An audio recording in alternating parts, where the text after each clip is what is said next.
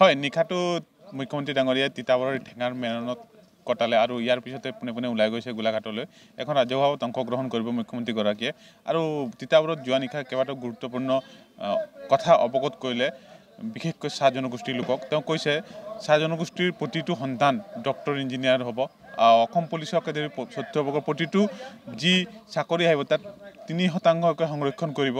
আৰু চাহ জনগোষ্ঠীৰ যি আঁচনিসমূহ পোনে পোনে বেংক একাউণ্টত সোমাব কোনো দালালৰ জৰিয়তে তেওঁলোকে সংগ্ৰহ নকৰে। আগত যোৱাৰ কেইবছৰ কংগ্ৰেছৰ দিনত এই কমিশ্যন ৰাজৰ যি অংক সেইটো অৱসান ঘটিছে। পোনে পোনে তেওঁলোকৰ যি আঁচনিসমূহ পোনপটীয়াকৈ তেওঁৰ একাউণ্টত সোমাব এই সন্দৰ্ভত প্ৰভাৰী আছে জিলা প্ৰভাৰী তেওঁৰ পৰা পোনে পোনে মন্তব্য ল'ম। এক সুন্দৰ বাৰ্তা দি থৈ গ'ল আচলতে চাহ জনগোষ্ঠীৰ লোকসকলক প্ৰতিটো কথা মই তেওঁৰ পৰা জানিম। মুখ্যমন্ত্ৰী ডাঙৰীয়া কেইবাটাও গুৰুত্বপূৰ্ণ মন- অৱগত কৰালে চাহ জনগোষ্ঠীক। চাহ জনগোষ্ঠীৰ ল'ৰা এতিয়া এ পি এছৰ পৰা ডক্টৰ প্ৰতিটো ক্ষেত্ৰত আগবাঢ়ি যাব। আৰু চাহ জনগোষ্ঠীৰ চতুৰ্থ পৰ্বৰ পৰা অসম পুলিচত যি সপোন চাকৰি ওলাব তিনি শতাংশকৈ সংৰক্ষণ থাকিব। কোনো দালাল ৰাজ অৱসান ঘটিছে দালালৰ জৰিয়তে কোনো আঁচনি ৰূপায়ণ নহয় পোনপ্ৰথমে পোনে পোনে বেংক একাউণ্টত সোমাব এই সন্দৰ্ভত কি ক'ব? অতি তাৎপৰ্য নাই মুখ্যমন্ত্ৰীজনে যি পদক্ষেপ লৈ আছে অসমৰ বিভিন্ন জাতি জনগোষ্ঠীৰ চাহ জনগোষ্ঠীৰ প্ৰত্যেকটো পদক্ষেপে সদায় যোগাত্মক। আৰু আমি ভাবিছোঁ এই যোগাত্মক পদক্ষেপে পদক্ষেপে সকলোকে মানে আগবাঢ়ি যোৱাত সহায় কৰিব আৰু এই অসমৰ উন্নতিত যথেষ্টখিনি সহায় হ'ব। চাহ জনগোষ্ঠী বহুত নেতা যোগদান কৰিলে। একপক্ষ চাহ জনগোষ্ঠী কংগ্ৰেছ অৱসান হৈছে নেকি তিতাবৰত? কংগ্ৰেছ বুলিতো এতিয়া নাই আছে বুলি মই নাভাবোঁ আৰু কংগ্ৰেছ। কংগ্ৰেছ কিবা আছে এইটো নাজানো। হয়তো নামটো এনেকুৱা থাকিব পাৰে আমাৰ কংগ্ৰেছ দল এটা এনেকুৱা আছিল এনেকুৱা হ'ব পাৰে। আমি দেখিব পাইছোঁ এতিয়া মানে যিবিলাক আঁচনি আহে পোনপটীয়াকৈ বেংক একাউণ্টত সোমায়। আগতে দালাল চলিছিলে কংগ্ৰেছৰ দিনত। এইটো অৱসান হৈছে। মুখ্যমন্ত্ৰীৰ বৈশিষ্ট্যটো সেইটোৱে আমাৰ হিমন্ত বিশ্ব শৰ্মা ডাঙৰীয়াৰ বৈশিষ্ট্যটো তাতেই। আমাৰ ৰাইজৰ উন্নয়নৰ বাবে কৰিব লাগে সৰু সৰু মানুহবিলাকৰ উন্নয়ন কৰিব লাগে অসমখন উন্নয়ন হ'ব লাগে ভাৰত উন্নয়ন হ'ব লাগে। তাক যি আজি এইটো যে কথাটো সঁচা কথা কৰিব পাৰে প্ৰকৃত নেতৃত্বই তাক মুখ্যমন্ত্ৰী ডাঙৰীয়াই প্ৰতিপন্ন কৰিছে। আমি কালি এটা কথা গম পালোঁ অলপকৈ। মুখ্যমন্ত্ৰী যোৰহাট তিতাবৰ প্ৰতি যথেষ্ট ভাল ভাৱ আছে। তো যোৰহাটৰ পৰা আগন্তুক সময়ত নিৰ্বাচন খেলা কিবা নাই মুখ্যমন্ত্ৰীৰ তিতাবৰৰ প্ৰতি এনে সমগ্ৰ অসমখনৰ প্ৰতি ভাল ভাৱ আছে। তেখেতে ধৰক তিতাবৰ বা যোৰহাটত বেছি সময় কেতিয়াবা দিব নোৱাৰে কাৰণ সমগ্ৰ অসমখনতে চাব লাগে। গতিকে আৰু তিতাবৰৰ আহ, যিহেতু মুখ্যমন্ত্ৰী ডাঙৰীয়াৰ এইটো এটা ভাল তিতাবৰ যিহেতু ধানৰ ভঁৰাল আৰু মূল সেইটো ধানেই সকলোকে হেৰি হৈ থাকে সেইকাৰণে ভাল ভাৱ অকণমান বেছি থাকিবও পাৰে। মই বৰ বিশেষ নাজানিম তেখেতৰ কি ইমান ক'ত প্ৰগ্ৰাম আছে।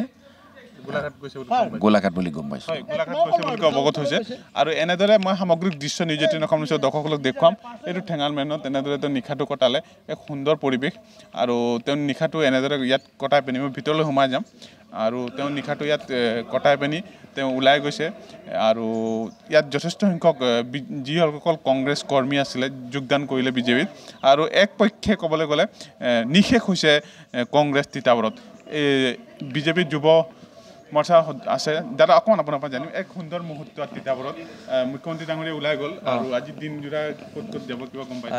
মাননীয় মুখ্যমন্ত্ৰী মহোদয় বৰ্তমান তেওঁ নুমলীগড়লৈ যাব। যিহেতু কাজিৰঙা সমষ্টিৰ আমাৰ যি সন্মানীয় বিজেপি প্ৰাৰ্থী আছে মিত্ৰজোঁটৰ প্ৰাৰ্থী আছে আমাৰ কামাখ্যা প্ৰসাদ প্ৰসাদ প্লাছ কাজিৰঙা সমষ্টিৰ অন্তৰ্গত বিধানসভা সমষ্টিৰ বিধায়কসকলৰ লগত তেওঁ এখন বৈঠকত মিলিত হ'ব। তাৰপিছত তেওঁ গুৱাহাটীলৈ যাব। আৰু আপোনালোকে দেখিছে কালি স্বতঃস্ফূৰ্তভাৱে যোৰহাটবাসীৰ ৰাইজ ওলাই আহিছে। আৰু কালি এটা বস্তুৱে প্ৰমাণ কৰি দিছে যে ইয়াত তপন গগৈ ডাঙৰীয়া বৃহৎ ব্যৱধানৰ মাজত জয়যুক্ত হ'ব। আৰু আপোনালোকে দেখিছিলে সেই আজি চাৰি পাঁচদিন আগতে আমি এখন তিতাবৰত যুৱ সন্মিলন অনুষ্ঠিত কৰিছিলোঁ। আৰু আপোনাক সেই সন্মিলনত দেখিছে কিমানখিনি হাজাৰ হাজাৰ কেৱল যুৱ সতীৰ্থবৃন্দ যুৱ মৰ্চাৰ শুভাকাংক্ষী যুৱ মৰ্চাৰ কাৰ্যকৰ্তা উপস্থিত আছিলে। আৰু তিতাবৰ যুৱ শক্তিয়ে বা যোৰহাটৰ যুৱ শক্তিয়ে পৰহিও আমি বাইক লৈ গৈছোঁ এটা বস্তু প্ৰমাণ কৰি দিলে যে যোৰহাটৰ যুৱ শক্তিয়ে কেতিয়াও শিপাৰ সৈতে সম্পৰ্ক নেতাক কেতিয়াও সন্মান নকৰে বা পৰিয়ালবাদক কেতিয়াও স্থান নিদিয়ে। কাৰণ গৌৰৱ গগৈ ডাঙৰীয়াই কেৱল ইংৰাজীত দুই এটা ভাল ভাষণ দিয়াৰ বাবে তেওঁ কেতিয়াও নেতা হ'ব নোৱাৰে। নেতা হ'বলৈ তৃণমূল পৰ্যায়ত থাকিব লাগিব। গতিকে দেউতাকৰ চেণ্টিমেণ্ট লৈ আৱেগক এতিয়া ৰাজনীতি নহয়। গতিকে এই যোনখন নিৰ্বাচন আছে এই নিৰ্বাচনখন হৈছে স্বাভিমানৰ নিৰ্বাচন। প্ৰত্যেকজন যুৱ প্ৰজন্মই বা যুৱ মৰ্চাৰ কাৰ্যকৰ্তাই সংকল্প লৈছে এফালে যদি ইংৰাজী ভাষণ আনফালে হৈছে উন্নয়ন।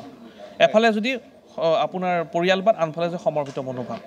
হয় মুখ্যমন্ত্ৰী ডাঙৰীয়া এটা কথা ক'লে চাহ জনগোষ্ঠীক লৈ।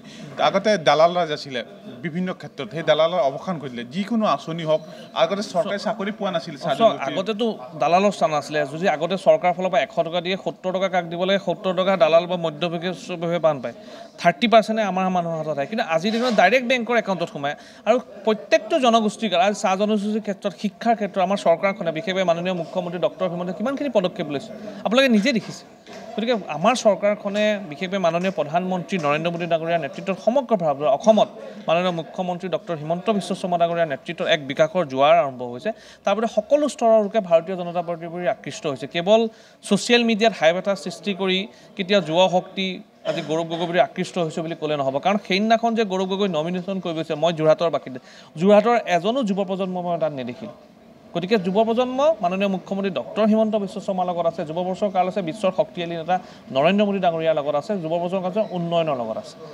মুখ্যমন্ত্ৰী ডাঙৰীয়া কিছুমান তাৎপৰ্যপূৰ্ণ কথা ক'লে আৰু এই পদক্ষেপ গ্ৰহণ কৰিছে প্ৰতিটো চাহ জনগোষ্ঠীৰ ল'ৰা ডক্টৰ ইঞ্জিনিয়াৰকে ধৰি বিভিন্ন পদত এতিয়া আদিষ্ট হ'ব। তেওঁলোকে চাহ বাগানৰ পৰা বিভিন্ন কৰ্মত তেওঁলোকে যাব। কাৰণ আগতে দেখা পোৱা গৈছিলে চাহ জনগোষ্ঠীৰ যিসকল শ্ৰমিকসকল আছিলে তেওঁলোকৰ পুত্ৰ এ পি এছ ধৰি বিভিন্ন যিসকল চতুৰ্থ বৰ্গৰ বা অসম পুলিচত নিযুক্তি পোৱা নাছিলে কিন্তু আজি দেখিবলৈ পোৱা বিভিন্ন শিতানত তেওঁলোকে নিযুক্তি প্ৰাপ্ত হৈছে।